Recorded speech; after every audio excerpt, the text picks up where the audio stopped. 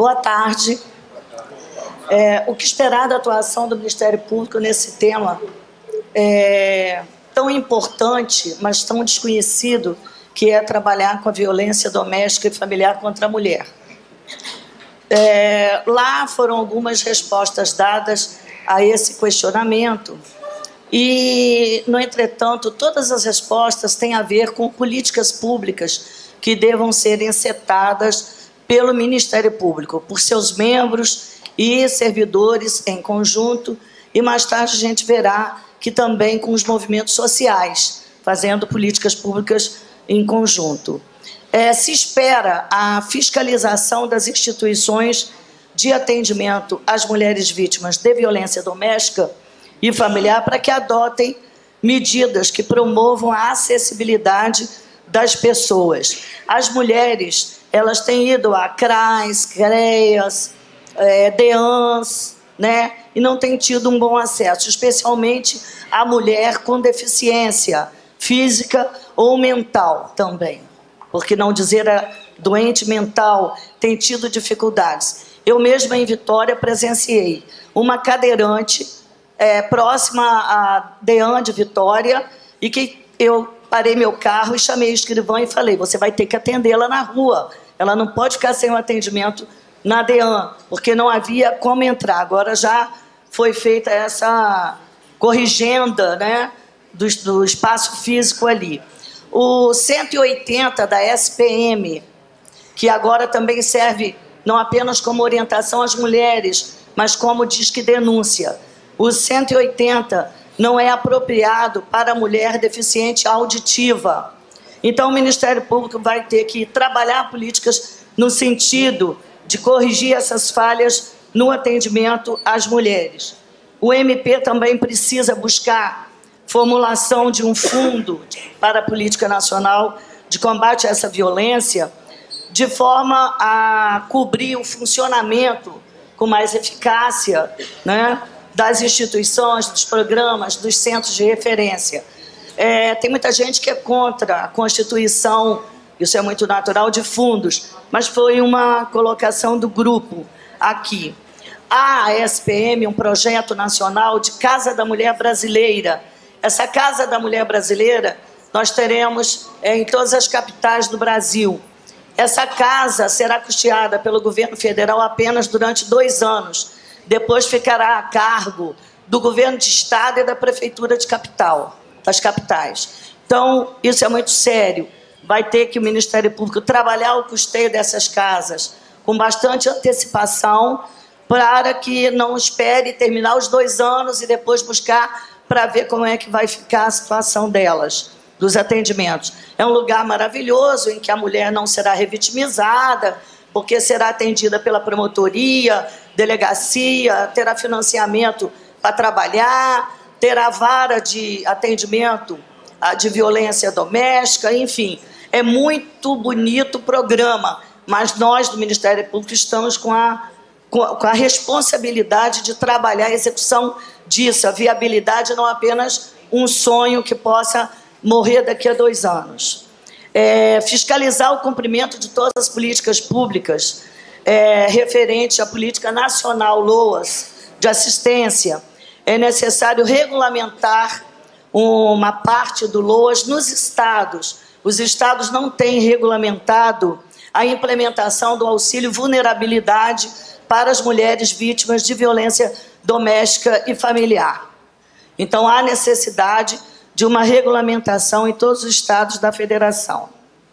Cada promotoria poderia, é um outro dado aqui, atuar na capacitação e articulação da rede de atendimento à mulher, através, inclusive, de ações promovidas pelo Conselho Nacional do Ministério Público. O trabalho em rede, a gente sabe que o Ministério Público está dentro da rede, mas nem todos os colegas se colocam dentro da rede, se colocam fora, e isso é muito ruim para o resultado final. Então, nós temos que trabalhar a rede, mas em conjunto é, com os próprios promotores. Tanto que abaixo veio capacitação dos promotores de justiça e dos servidores para atuar junto à rede.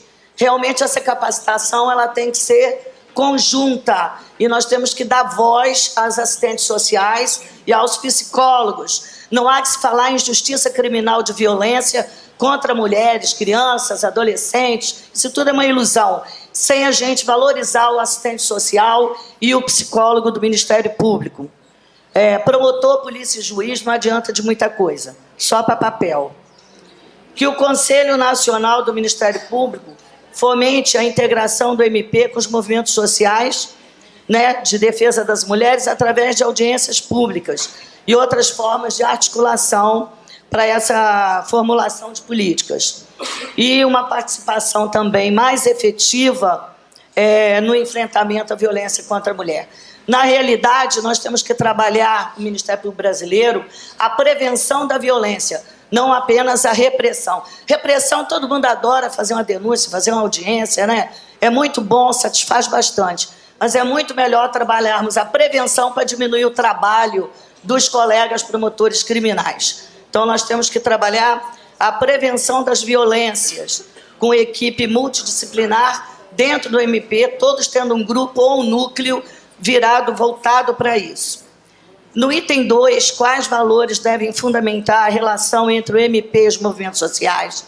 Foram listados aqui: honestidade, transparência, igualdade, horizontalidade, diálogo, parceria, compromisso, responsabilidade, sensibilidade, abertura, disponibilidade, proximidade cotidiana com a comunidade.